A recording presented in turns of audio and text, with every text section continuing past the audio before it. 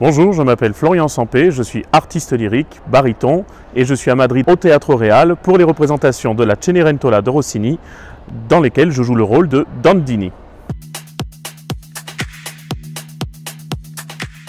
Je fais effectivement partie d'une jeune génération euh, de chanteurs français euh, qui souhaitent euh, renouveler un peu l'opéra, le rendre beaucoup plus accessible euh, que ce que les gens pensent, parce que finalement il y a beaucoup d'idées euh, préconçues sur l'opéra. C'est vrai que c'est un genre très très ancien, hein, comme le théâtre, c'est un des premiers genres de, de, spectacle vivant, et les œuvres que nous jouons sur scène, les musiques que nous chantons, sont des œuvres et des musiques qui ont été écrites il y a très longtemps effectivement, mais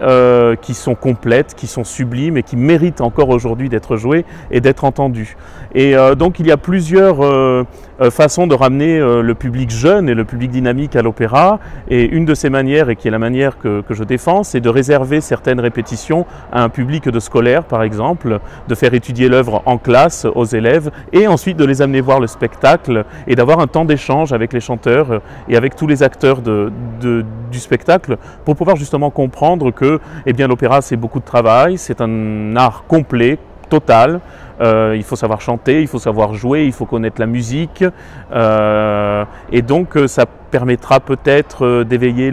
la curiosité chez certains et puis de leur permettre de venir plus tard, de revenir à l'opéra et qui sait peut-être de vouloir devenir chanteur.